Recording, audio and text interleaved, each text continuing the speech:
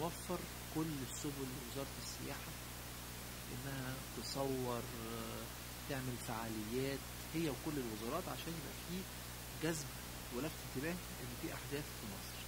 تاني حاجة عمل ترويج وتحسين الصورة الذهنية عن مصر عن طريق الآثار.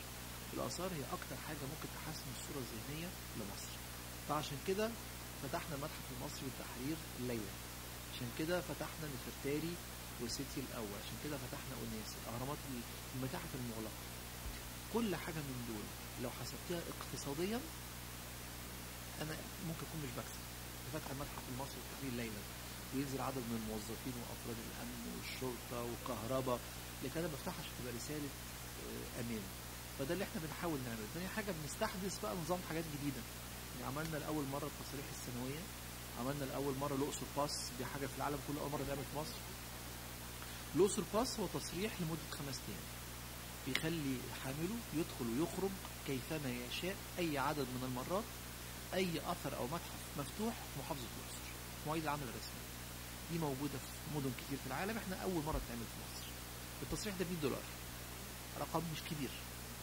أنا كسبان إيه أنا كسبان بخليك يقعد في الأقصر خمس أيام. هيركب تاكسي ويركب حنطور ويتغدى هيعمل حركة في المكان. تاني حاجة هيشوف إن البلد أمان هيعمل لي دعاية بطريقه غير مباشرة هيدخل لي عملة صعبة وعملنا نفرتاري وسيتي الأول. هم كانوا مفتوحين قبل كده بس مفتوحين بتصريح وموافقه من الوزير ولازم الشركة تكون واخدة موافقه من الوزير وتتفتح ب 20000 جنيه طب لو واحد تدفع 20000 جنيه؟ فإحنا بدل ما هم 20 شخص ب 20000 جنيه خلينا كل شخص ب 1000 جنيه. يعني ما خسرناش. لكن شجعنا اللي يخش لوحده يدخل لوحده. إحنا بعنا في أول 20 يوم تقريبا 1000 تذكرة. خلاص؟ فدي حاجة مهمة إحنا بنحاول ان إحنا نعملها. عملنا التصاريح السنويه ودي برضو أول مرة تعمل في مصر. عملناها للمواطن المصري والعربي ب 400 جنيه في السنة. طب ما ده قليل.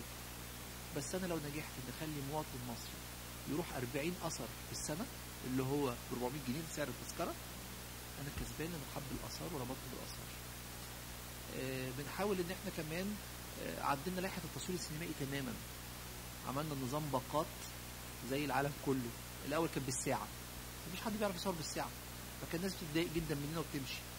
عملناها باليوم وبالأسبوع وبالأسبوعين وبالشهر. الشهر لو هو آه، سينما أجنبية ب 150 ألف جنيه. يعني الشهر أقل من 10000 دولار. خلاص؟